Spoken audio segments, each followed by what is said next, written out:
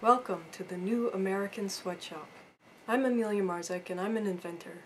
I realized that to take any of my electronic prototypes to the next level, I'd have to hire a sweatshop overseas. This wasn't an ideal solution, so instead I decided to start one of my own here in Brooklyn. Our focus is to use electronic waste to design communication devices for the future.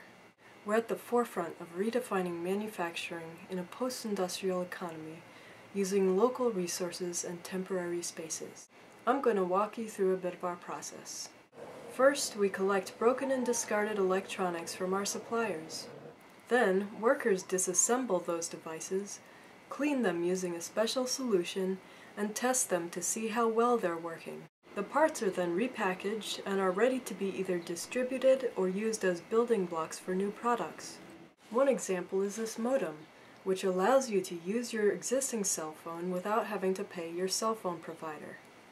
With these products and processes, our communities will be able to enjoy connectedness despite political and natural disasters.